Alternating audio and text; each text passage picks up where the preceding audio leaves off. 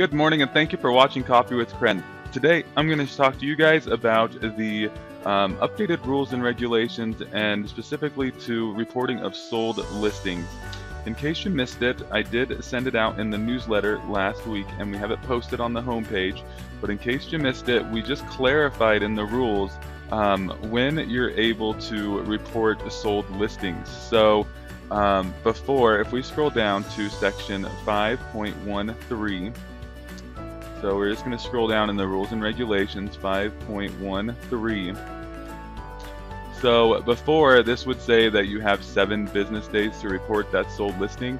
Um, if you notice now, um, the and this is how it always was. It was just confusing in the rules and regs where we had it for seven days. So um, right now, it's just stated as one business day. So status changes, including final closings of sales and sales prices, shall be reported to the multiple listing service within one business day by the listing broker.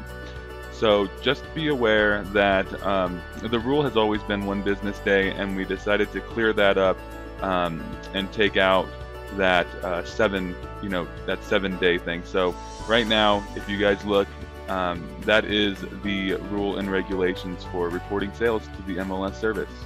Any status change um, needs to be made in the MLS within one business day.